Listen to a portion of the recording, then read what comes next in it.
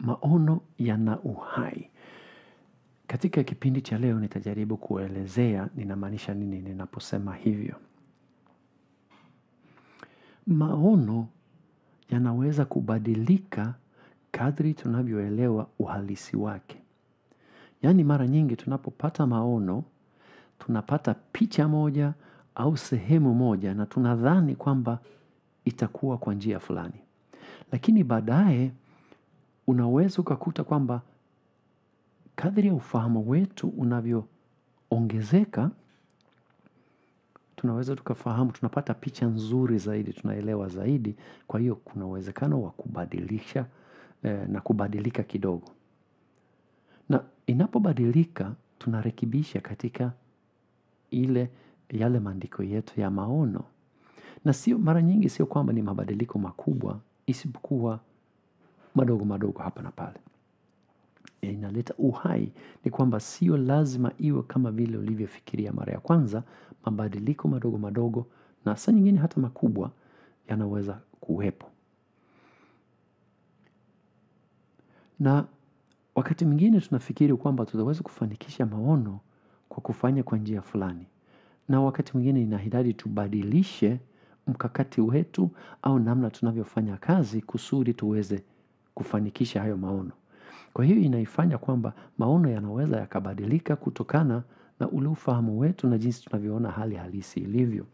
Huo ni uhai, ni kitu ambayo kinaweza kikawa kikabadilika.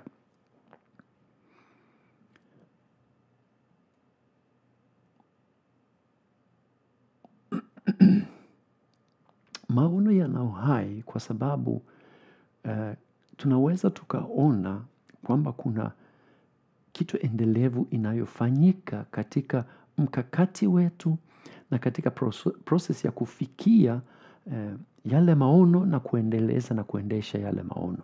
Kwa sababu kuna kuna sehemu ya ku, kuanza na kupanga mkakati na kujaribu kufika katika kuanza yale maono. Kama vile mimi nilihitaji liseni nilihitaji pikipiki, nilihitaji mambo mengi. Kabla ya kuweza hata kufikiria hiyo safari, kuna maandalizi ya kufanya. Hiyo ni sehemu moja. Lakini pia katika kuendeleza kuona tumefika wapi katika yale malengo yetu au katika ile yale maono yetu. Kwa hiyo, hiyo pia inaleta ule uhai ambaye ninaweza nikaona niko wapi, ninaweza nikapima na nikasoma niko wapi. Kwa hiyo kwa njia hiyo ina uhai fulani kwa sababu ni kitu ambayo inaishi na inakuwa na maisha ya kukua na kuendelea.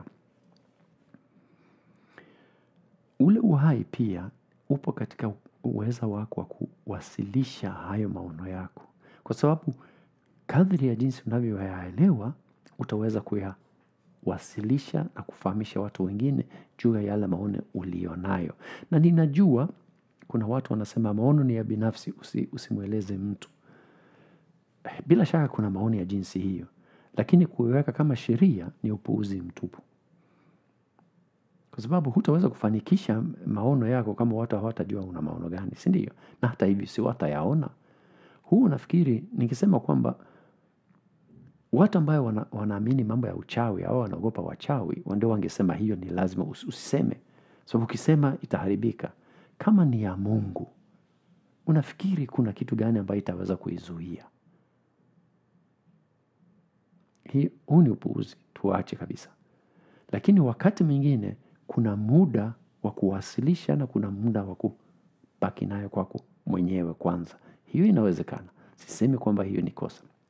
Anyway, uh, kwa hiyo unahitaji ku, ku, kuwasilisha, unahitaji kufahamu kwamba eh, maono yako yanaweza yakabadilika na yanaweza yakawa na uhai kwa njia hiyo. Ok, katika kipindi kinachofuata sasa tutakwenda kuangalia mikakati. Kwa nini tuwe na mikakati na mikakati ni nini? Kwa hiyo karibu sana katika kipindi hiyo pia. Na mpaka hapo tutakapoonana tena mungu akubariki sana.